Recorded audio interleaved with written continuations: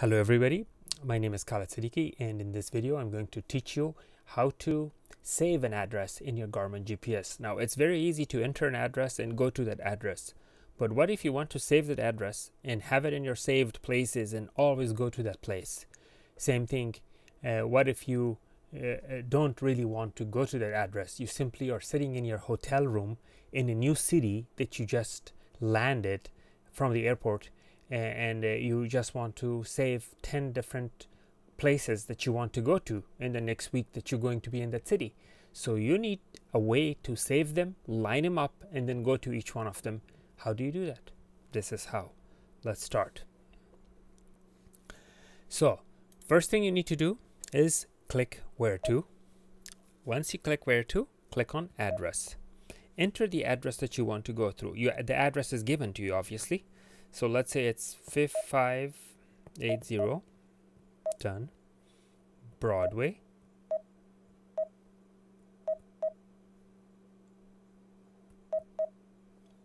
Broadway, right? It's gonna search, see which one is the one that you're looking for. So so you have to see which one matches. Uh, do you want this Broadway, this one, this one? By the way, I, this is a fake address. I just entered. It happens to be real in some places. So let's choose I want this one, right? Now, instead of clicking go, I'm not going to click go. Instead of that, I'm going to click on the I. And then what I'm going to do is I'm going, going to do to these three lines, click on that. And then I'm going to click save.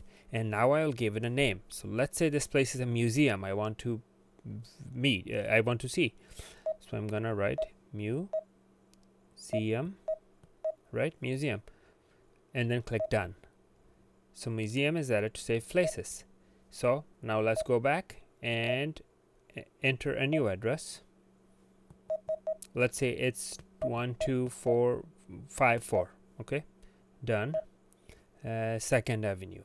Okay. Uh, oops, done. Let's get rid of that. Let's say this one is second, second Avenue or second, whatever, second. Let's see if this address exists. Maybe it doesn't exist. It will give me something else. North 2nd Street, El Cajon. Okay, so 1, 2, 4, 5. This happens to be a real address too. I happen to be just memorizing real addresses here. So again, click on the info. Click on here.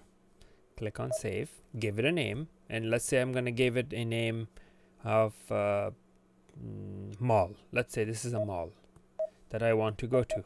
Mall, right? Done. Okay now I'm I, I did all these savings in my hotel room and it's the next morning and I want to actually go to these places. How do I access them? I go where to and then save places. Click on it.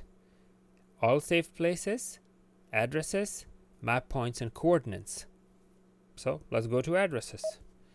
And this is my mall. This is the museum these are the ones that I just you know added. The JJ I also added uh, earlier just for practicing. But there you go. So what if I want to delete them now? I'm done with them. I, I already went there so I want to delete them. Here's how you do. Let's say I want to delete JJ I want to delete this one right? So I go there. I click here. I go here. Delete yes so now that's gone and if I'm through with the mall, I never want to go there again. I want to delete it from my GPS. Well, how do I do? Click on mall, click on the info, click on these lines, delete. Yes. And that's how you save places. And uh, you could save hundreds and hundreds of places, relatives' homes, important places, historical sites, and so on. Thank you for watching. Please like and subscribe.